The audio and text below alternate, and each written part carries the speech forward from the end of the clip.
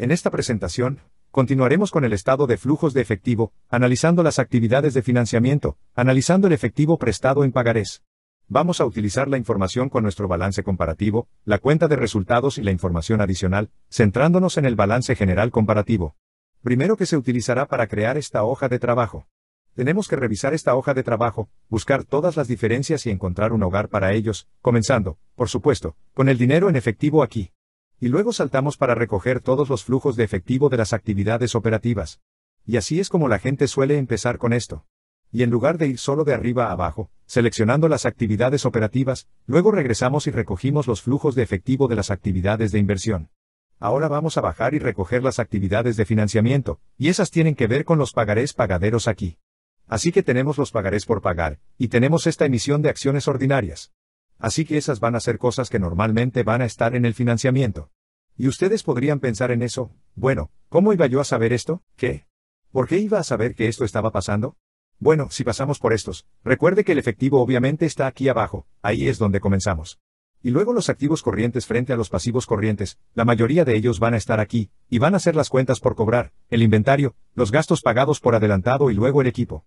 Tuvimos que saltar. Tuvimos que pensarlo. Y la prueba que tendría normalmente sería, quiero decir, te acostumbrarás a saber a dónde irán estas cosas después de un tiempo. Pero sería, ¿hay una entrada en el diario? ¿Qué es la entrada del diario? Si hay una entrada de diario que está relacionada con una cuenta de estado de resultados, una parte principal está relacionada con una cuenta de estado de resultados, entonces probablemente pertenezca a los flujos de efectivo de las operaciones. La mayor parte de los flujos de efectivo provendrán de las operaciones, porque eso es lo que hacemos. Así que esta va a ser probablemente la sección más grande. Es por eso que pasamos la mayor parte del tiempo concentrándonos en ello. Si revisamos las entradas del diario, y no vemos ninguna cuenta importante del estado de resultados, entonces es probable que se trate de inversión o financiación. Si compramos algo, como hicimos con el equipo y el activo, entonces va a ser una forma de inversión. Porque estamos invirtiendo, no estamos financiando, estamos invirtiendo. Podríamos haber financiado el equipo con un préstamo, y eso va a ser parte de una transacción, pero la compra real del equipo, el efectivo relacionado con él irá aquí, y así. Y luego cuando revisamos las cuentas por pagar, y luego los pagarés por pagar, comenzamos a pensar, bueno, un pagarés por pagar. Probablemente solo lo escuches y digas, mmm, eso probablemente suena como si no estuviera funcionando. Probablemente sea financiación o inversión. Va a ser financiamiento. También puede pensar en eso con una entrada en el diario. ¿Cuál sería la entrada normal en el diario de una nota? Bueno, evitaríamos efectivo, probablemente tenemos efectivo y vamos a acreditar un pasivo por pagarés, y no hay ninguna cuenta de estado de resultados relacionada con eso. La otra cara de la moneda es cuando pagamos el pagaré, que acreditaríamos en efectivo y debitaríamos el pagaré. Ahora, los intereses podrían estar involucrados allí, pero ese no va a ser el componente principal de la financiación del pagaré. Por lo tanto, no es una actividad operativa. No es una especie de parte del estado de resultados, la mayor parte de las notas, no es un estado de resultados. Así que no es una actividad operativa, y no estamos comprando nada, necesariamente.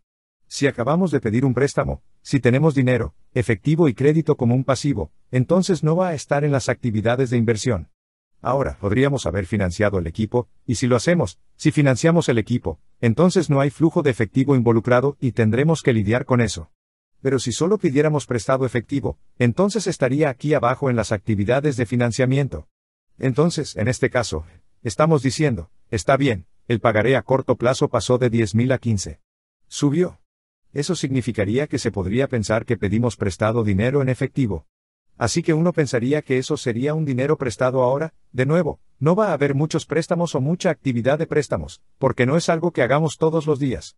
No vamos a tenerlo. No va a ser como la cuenta de efectivo donde hay un montón de actividad en el libro mayor. Pedimos préstamos cada cierto tiempo, y los pagamos periódicamente, generalmente mensualmente o más de una vez al mes. Así que no va a haber mucha actividad en el libro mayor para los préstamos, pero probablemente sea más complicado que simplemente pedir otro préstamo de 5 mil dólares. Puede ser así de simple, pero podría ser más complicado. Es posible que tengamos varios préstamos agrupados en esta cuenta de préstamos, o que tengamos algunos más que sacamos y realizamos pagos. Así que podría ser más complicado que esto, pero no quiero ir, no queremos pasar por el GL en este momento y complicarlo más.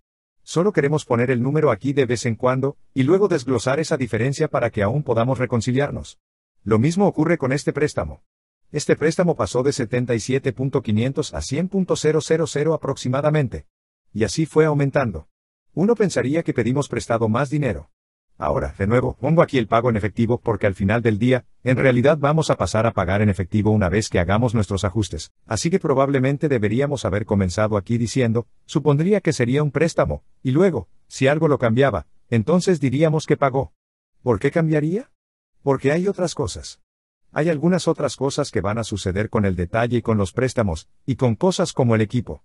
Por lo general, ese será el caso. Vamos a tener que indagar en el GL, y mirar esas pocas transacciones relacionadas y ver qué les sucedió realmente. El punto en este momento, sin embargo, es que cualquier efectivo que haya ocurrido con el préstamo va a ser una actividad de financiamiento, y queremos ponerlo en las actividades de financiamiento. Y antes de entrar y desglosar todos los detalles, primero queremos usar estos dos números para poder conciliar.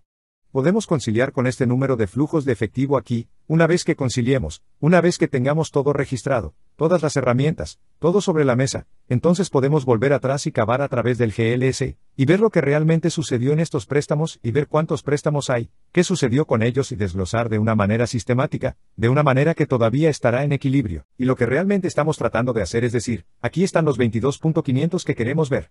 Queremos romper eso, pero aún así romper esta diferencia. Lo que sea que lo dividamos, debería sumar 22.500, y estaremos bien. Así que queremos, pero primero quiero asegurarme de que estamos en equilibrio, y luego hacer eso y ese será un proceso más fácil. ¿Y ahora qué? ¿Cuáles son algunas de las cosas que vamos a buscar cuando eso suceda? Vamos a revisar el GL, y vamos a buscar cualquier préstamo que haya sucedido, y vamos a decir qué sucedió aquí, ¿es solo una línea? ¿Solo una línea de crédito? ¿Acabamos de sacar otra línea de crédito de 5.000 que vamos a pagar en el futuro? ¿O es más complejo que eso? ¿Hicimos pagos por ello? Posiblemente, compramos equipos y financiamos equipos que van a ser más complejos. ¿Por qué? Porque realmente no pagamos en efectivo. Es decir, allí no hay dinero en efectivo. No hay débito ni crédito en efectivo. Si compramos equipos y los financiamos, no hay flujo de caja. Entonces, si ese es el caso, vamos a tener que lidiar con eso.